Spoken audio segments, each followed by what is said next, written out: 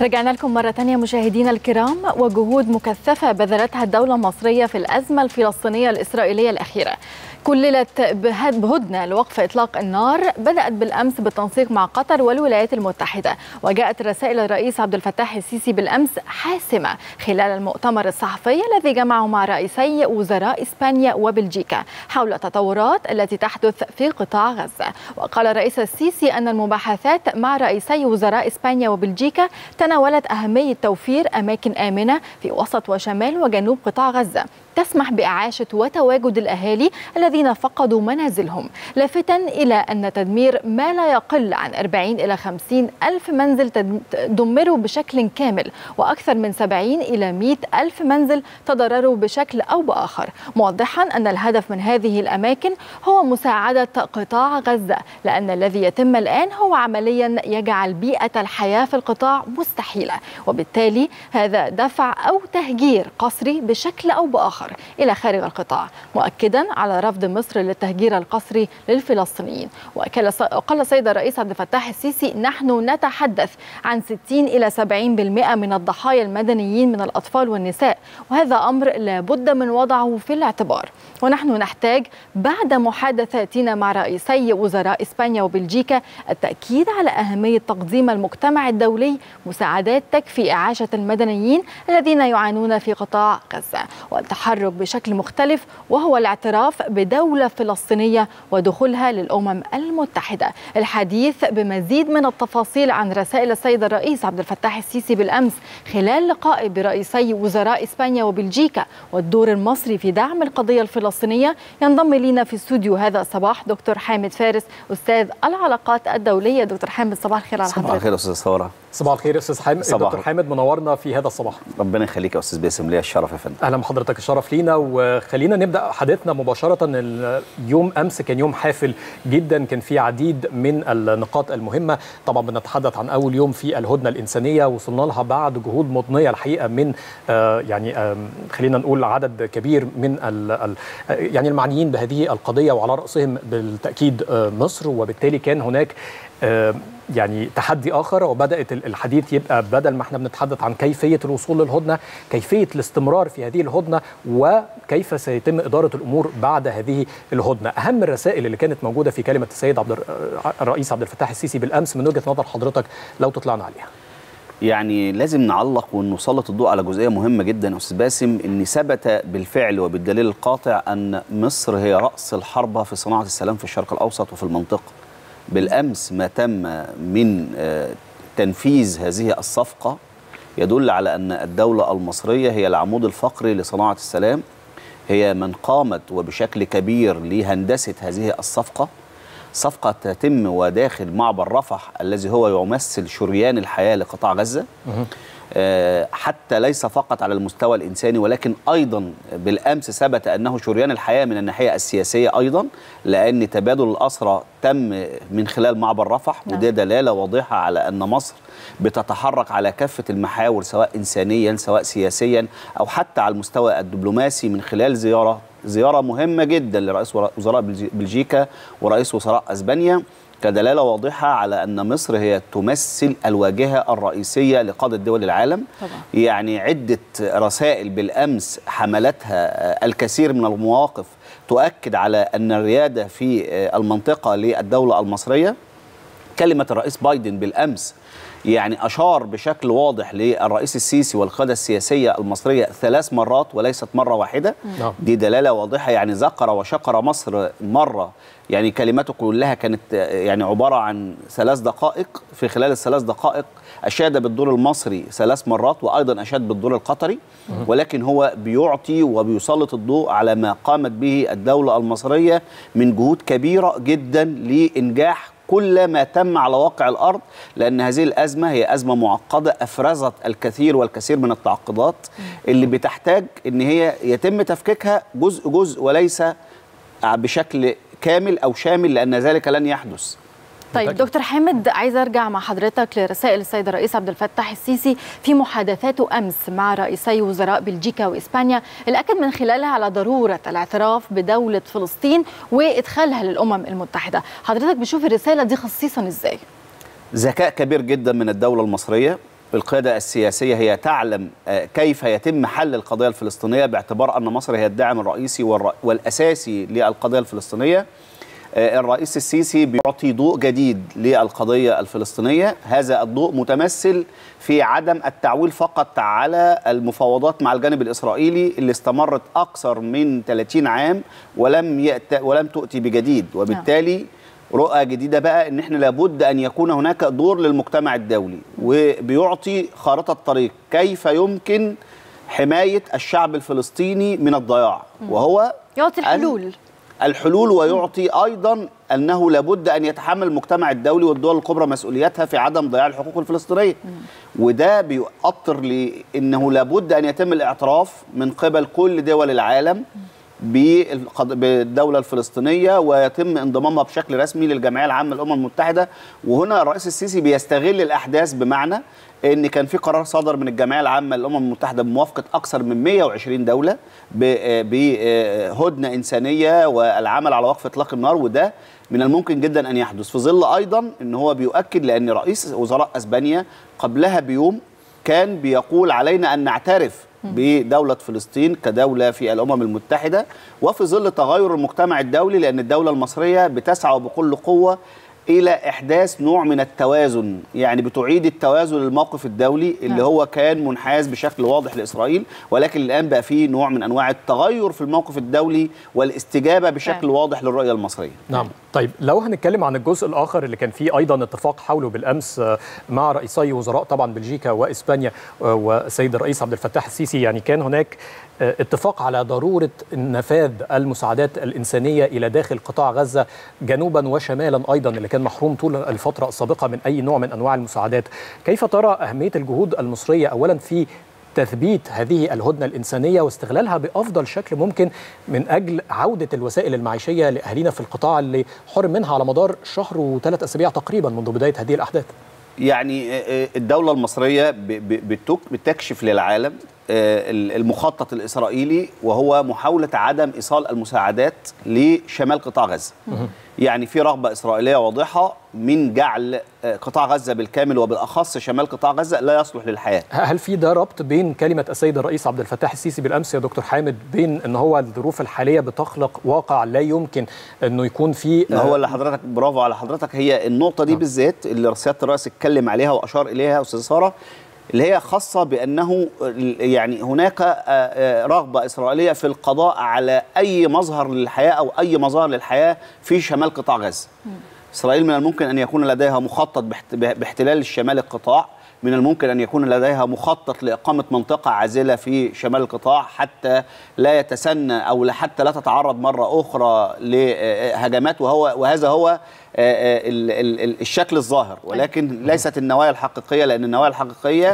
هو تصفية القضية وتهجير طيب. وبالتالي القيادة السياسية بتقول للعالم لابد من نفاذ المساعدات لشمال قطاع غزة طيب دكتور حامد قبل ما نكمل كلامنا مع حضرتك هنروح دلوقتي لعرض معلوماتي عن رسائل السيد الرئيس عبد الفتاح السيسي بالأمس خلال لقائه برئيسي وزراء إسبانيا وبلجيكا في العرض التالي ونرجع مرة ثانية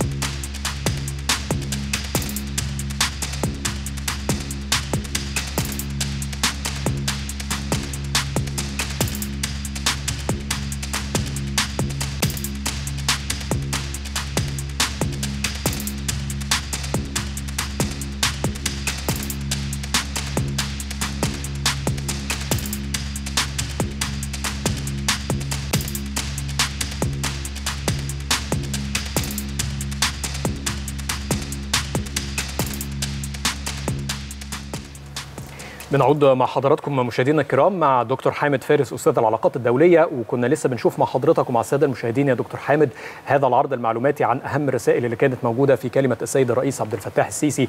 كان هناك أيضا يعني تأكيد على إن مصر لم تغلق ابدا معبر رفح طوال المدة الماضية. طبعا المعبر بيتم استخدامه في إدخال المساعدات في خروج المصابين في عودة من يرغب طبعا طبعا إلى قطاع غزة من الفلسطينيين. ولكن أيضا هنا نقطة مهمة جدا لأنه تم المزايده على هذا الأمر بشكل كبير. لو توضح لنا أهمية هذه الرسالة. يعني اولا لابد أن يعلم المشاهد أن معبر رفح في الأساس هو لعبور الأفراد. في البداية. والدولة المصرية يعني نتيجة دورها الريادي والتاريخي ضغطت بكل قوتها لإيصال المساعدات وكسر الحصار عن قطاع غزة.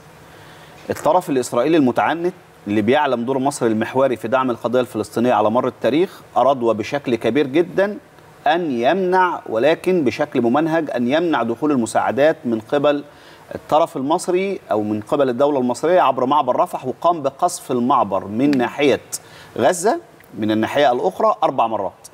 حتى لا يكون هناك دخول لأي شاحنات ولكن الدولة المصرية سعت وبكل قوتها منذ اللحظة الأولى ونجحت في إدخال المساعدات وكسر الحصار عن قطاع غزة ودخلت المساعدات حتى وإن كانت لا تتناسب مع حجم الاحتياجات اللي بيحتاجها القطاع ولكن في اطار دورها المحوري وضغطها الكبير جدا على كل دوائر صنع القرار عالميا وفي القضية الفلسطينية نجحت في كسر الحصار وتغيير نظرة المجتمع الدولي لضرورة إدخال المساعدات لقطاع غزة. وبالتالي لا يستطيع أحد أن يزايد على الدور المصري في هذا في هذه الجزئية تحديدا. حجم المساعدات اللي دخلت لقطاع غزة إحنا بنتحدث عن أكثر من الثلثين من بالزبط. الدولة المصرية وباقي دول العالم الثلث فقط.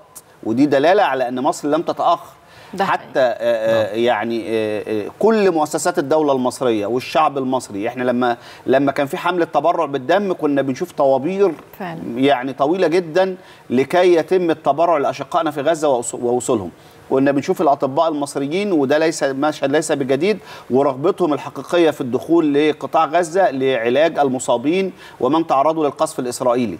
وده حصل في شهر مايو 2021 ونجحت الجهود المصرية الطبية مصر بعتت يعني الكثير من الكوادر الطبية المدربة على أعلى مستوى لرفع المعاناة عن سكان قطاع غزة. وبالتالي المزايدة على موضوع معبر رفح لا يمكن ابدا اعتباره إلا هو نسج من الخيال وعلى غير الحقيقة وهي أهواء شخصية يريدوا من خلالها يعني تقزيم دور الدولة المصرية تقزيم دور الدولة المصرية ولكن هو ليس بحقيقي. الدولة المصرية هي أكثر دولة تبذل مجهود حقيقي والقيادة السياسية المصرية ممثلة في الرئيس السيسي تنظر للقضية الفلسطينية باعتبارها هي أم القضايا وهي قضية مصرية بامتياز وخلفه ظهير شعبي حقيقي يدفع في هذا الاتجاه والقياده السياسيه أكدت مرارا وتكرارا أنها لن تسمح بتصفية القضية الفلسطينية وبأن هناك رغبة حقيقية في تنفيذ مبدأ حل الدولتين. طيب دكتور حامد استكمالا لكلام حضرتك وإدخال المساعدات المختلفة لإخواتنا الفلسطينيين عبر معبر رفح الرئيس السيسي أشار امبارح في مباحثاته إنه لازم ندخل المساعدات بشكل يكفي 2 مليون و300 ألف مواطن في قطاع غزة. ده ممكن يحصل إزاي؟ وإزاي نجبر المجتمع الدولي على إدخال مساعدات بشكل كافي؟ أظن إن المجتمع الدولي بدأ يدرك يا أستاذة سارة أن هناك خطورة على حياة 2.5 مليون مواطن عزل مدنيين. يعني ليس لهم في الحرب شيء ولا يجوز سياسة العقاب الجماعي وهو ما اكد عليه مرارا وتكرارا الرئيس السيسي أنه لابد أن يكون رد الفعل متناسب مع الفعل نعم. بمعنى أنه عندما يتم هدم أكثر من 40 ل 50 ألف مبنى بالكامل. يعني بنتحدث عن 200 ألف تدمير جزئي. بنتحدث عن تشريد واحد وثمانية من عشرة مليون نسمة. ليس لهم مأوى ليس لهم طعام ليس لهم وظيفة أو, أو دخل أو بالإضافة إلى استهداف المستشفيات يعني المستشفيات بشكل ممنهج. بالإضافة إلى مدارس الأونروا التي من المفترض ألا يتم التعرض إليها لأنها تخضع للقانون الدولي. وهذه الأماكن لابد أن تكون أماكن آمنة. كل ذلك يؤطر إلى أن القيادة السياسية المصرية مدركة أبعاد وخطورة الحياة على المدنيين في قطاع غزة وتسعى إلى حمايتها من خلال المؤسسات الدولية. وبالتالي الدولة المصرية هنا في هذه الجزئية تحديدا بت... لديها إدراك ووعي حقيقي وتتحرك في هذا الاتجاه من خلال التعاون مع شركائها الإقليميين والدوليين وضغطت بشكل كبير جدا يعني في بداية ال... ال... ال... الأزمة الرئيس السيسي. تلقى اتصال من الرئيس بايدن وأشاد الرئيس بايدن بدور مصر لإدخال المساعدات لقطاع غزة. نعم. أي. ودي كانت البداية. وحتى الاتحاد الأوروبي الرئيس الفرنسي المستشار الألماني كلهم على الرغم من من مواقفهم المتباينة وغير الواضحة وغير المعتدلة نوعا ما ولكن بدأت ال- الآن الأمور تتجه إلى أن تكون لأوروبا صوت مسموع بعيد عن الإدارة الأمريكية. وده اللي القياده السياسية بتسعى اليه بالظبط. اسمح لنا نتوقف عند هذه النقطة لأنها كانت بالغة الوضوح ربما آه، يوم أمس آه، بعد زيارة معبر رفح أو يعني آه، اللي زار فيها طبعا رئيس الوزراء الإسباني بيدرو سانشيز ورئيس الوزراء البلجيكي ألكسندر دكرو زاروا آه، معبر رفح وكان في مؤتمر صحفي بعد لقائهم بالسيد الرئيس عبد الفتاح السيسي ورأينا تحول كبير آه، يعني دي دول برضو آه، كبيرة في ودورها كبير في الاتحاد الأوروبي. آه، الاتحاد الأوروبي كان كان ليه تصريحات يعني مع إسرائيل تماما في بداية هذه الأزمة، والآن هناك تحول كبير بنلحظه حتى في الدور الفرنسي وغيره وغيره بعد اللقاءات الثنائية التي تحدث مع الجانب المصري، الدور المصري هنا في تغيير هذه الصورة دفعا إلى حل آه، وجود دولة فلسطينية حتى لو منزوعة الس- السلاح بقوات حفظ سلام دولية أو غيره، ولكن باعتباره هو ده الهدف الوحيد المنشود اللي ممكن يحقق السلام في المنطقة، كيف ترى هذا الأمر؟ يعني كان في تغير واضح جدا ثلاث مشاهد تؤكد على تغير الموقف الأوروبي تجاه ال- ال- أول هذه التحولات على الرغم من كثرة الزيارات واعتبار القاهرة هي عاصمة القرار وعاصمة الدبلوماسية الرشيدة في المنطقة وتحركت كل دول العالم للتنسيق والتشاور مع الرئيس السيسي باعتباره هو رئيس متزن ومدرك لخطورة الأمور ويسعى بكل قوة إلى استقرار الأوضاع في المنطقة باعتباره هو صانع للسلام لأن هذا ما نشاهده الآن الدولة المصرية لعبت أدوار مركبة لا تستطيع أي دولة أن تلعبها وبالتالي أرى أن أولى هذه المشاهد كانت زيارة الر- الرئيس الفرنسي إيمانويل ماكرون للقاهرة ولقائه بالرئيس السيسي وتبنى بشكل واضح السردية المصرية والرؤية المصرية أمام اجتماع الاتحاد الأوروبي. ولو رجعنا لكلمة الرئيس آه، آه، ماكرون أمام الاتحاد الأوروبي اللي كانت بعد زيارته بيوم واحد فقط تبنى بمنتهى الدقة آه، كلمة الرئيس السيسي اللي هي ضرورة كسر الحصار عن قطاع غزة عدم استهداف المدنيين التأكيد على مبدأ حل الدولتين الرفض القسري آه، آه، للتهجير القسري. آه، بالإضافة إلى زيارات بالأمس بقى إحنا بنتحدث عن أسبانيا هي الرئيس الحالي للاتحاد الأوروبي بنتحدث عن بلجيكا هي الرئيس القادم للاتحاد الأوروبي. دولتين مؤثرتين جدا ولديهم من الثقل السياسي الكبير. بالإضافة إلى أن أغلب الدول الأوروبية الآن تسعى وبكل قوة إلى الاعتراف بدولة فلسطين. إن تمادت إسرائيل في غيها في محاولة تصفية القضية الفلسطينية وده نتيجة وده بوضوح في كلمة بيدرو سانشيز رئيس الوزراء وقالها. بوضوح وأكد عليه وأكد عليه أيضا البرلمان النرويجي اللي كان يريد الاعتراف بدولة فلسطين وغيره وحتى اسكتلندا كان في تصريحات مهمة جدا وحتى تم الرد عليها من قبل المسؤولين الإسرائيليين وقالوا له لو أنت يعني زعلان على المدنيين والعزل والقصر اللي بيموتوا خد ال- الفلسطينيين عندك في اسكتلندا وده كان واضح جدا من تصريحات متضاربة كثيرة جدا من قبل المسؤولين الإسرائيليين اللي بتظهر في النهاية رغبتهم الحقيقية في العمل على تصفية القضية الفلسطينية. طيب لو هنتكلم عن الوضع هذه الأيام إحنا النهارده في اليوم الثاني للهدنة المؤقتة آه، لاخواتنا الفلسطينيين في قطاع آه، غزة. حضرتك شايف المشهد هيكون عامل إزاي بعد الأربع أيام هدنة؟ طبعا لو آه، لم يتم تمديدها. يعني هنرجع على طول لكلمة وزير الدفاع الإسرائيلي لدولة الاحتلال الإسرائيلي يوف جالنت اللي قال بشكل واضح إن بمجرد انتهاء هذه الهدنة ستستمر العملية شهرين متتاليين على الأقل. وبالتالي هنا لابد أن نعلم أن هذه الهدنة هدنة مؤقتة. بالأمس لو إحنا أدركنا بقى رؤية الدولة المصرية الصائبة بالأمس كان في تصريحات واضحة جدا من القياده السياسية المصرية من ضرورة العمل على تمديد هذه الهدنة. وده اللي أكد عليه أيضا الرئيس الأمريكي في كلمته وقال لابد من العمل على تمديد هذه الهدنة لابد من العمل على وقف إطلاق النار بشكل دائم لابد من السعي إلى تثبيت وقف إطلاق النار. وأيضا أكد الرئيس الأمريكي على السردية المصرية والرؤية المصريه التي تقول أنه لا حل ولا سلام في منطقة الشرق الأوسط إلا بتنفيذ مبدأ حل الدولتين أيوة. نعم. وبالتالي كل التوجهات تدل على أن الفترة القادمة من الممكن أن تشهد هدى في ظل أن حماس تمتلك من الأوراق أوراق الضغط الحقيقية التي تستطيع بموجبها الضغط على دولة الاحتلال الإسرائيلي وفي ظل وجود شركاء إقليميين وظهير حقيقي داعم للقضية الفلسطينية عاملين رئيسيين الدعم العربي والإقليمي والإسلامي والدولي المتزايد للقضية الفلسطينية. بالإضافة لاوراق الضغط تستطيع هذه المعادلات أن تغير المشهد وتجبر إسرائيل على أن توقف الحرب وتجبر إسرائيل على وقف إطلاق النار باعتبار إن حركة حماس لديها أكثر من 204 وطبعا بعد هذه الصفقة وإتمامها وانتهائها بوصول 50 محتجز إسرائيلي نرى أن باقي أهالي الأسرى الموجودين والمحتجزين لدى حماس سيضغطون بكل قوة أكيد. لتنفيذ صفقات مشابهة بالتأكيد. في الفترة القادمة وبالتالي نأمل انه يكون في استمرار للهدنة الإنسانية خصوصا أن برضه التكلفة المالية والاقتصادية على إسرائيل جدا. يعني عظيمة للغاية وبالفعل كانت قد بدأت في تسريح بعض الجنود من الجيش كي يعودوا إلى ممارسه الأعمال التي اليومية وبالتالي يعني بنأمل إن هو يكون هناك انتهاء لهذه الأوضاع قريبا واستقرار الأمور ووقف دائم لإطلاق النار وهو ما تسعى إليه بشكل كبير جدا القاهرة. كل شكر لحضرتك الدكتور حامد فارس أستاذ العلاقات الدولية على وجودك معنا نورتنا وشرفتنا يا دكتور حامد. ليا الشرف يا أستاذ باسم ليا الشرف يا أستاذ سارة شرفت بحضراتكم ونهاركم سعيد.